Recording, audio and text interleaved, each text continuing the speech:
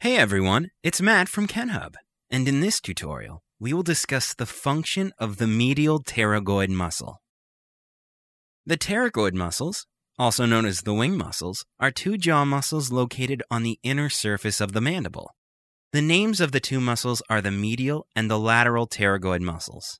And as mentioned, we will focus on the medial pterygoid muscle, which you see highlighted in green on this image. This muscle originates from the pterygoid fossa and pterygoid process of the sphenoid. Distally, it inserts on the pterygoid tuberosity on the inner surface of the mandibular angle. It is divided into superficial and deep parts. Along with the masseter, this muscle forms a sling around the mandible. The medial pterygoid can be palpated medially to the ramus of the mandible both intra and extraorally.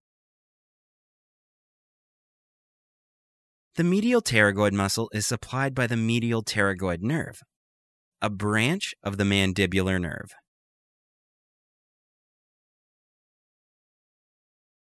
The pterygoid muscles are muscles of mastication and serve the movement of the temporomandibular joint.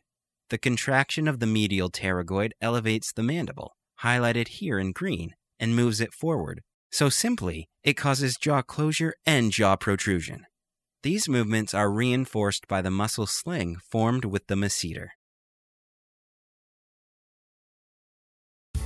This video is more fun than reading a textbook, right? If you want more videos, interactive quizzes, articles, and an atlas of human anatomy, click on the Take Me to KenHub button. It is time to say goodbye to your old textbooks and say hello to your new anatomy learning partner, KenHub. See you there!